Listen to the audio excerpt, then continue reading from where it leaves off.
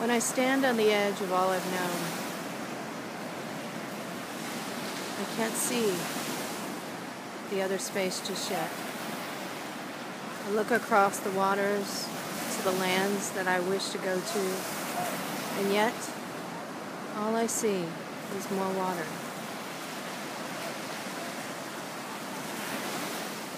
And then I realize where I am is beautiful. Where I stand is already where I need to be. What other place do I need to be than this? To see the simplicity of these waves, to know that within these sacred waters there is life, life force. This is created by the all wonder, magnificent universe and given to us as a sacred gift. See the beauty.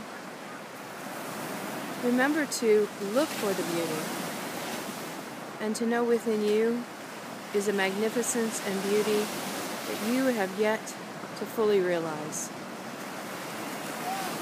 When you realize that beauty, you will discover there's an amazing astonishing,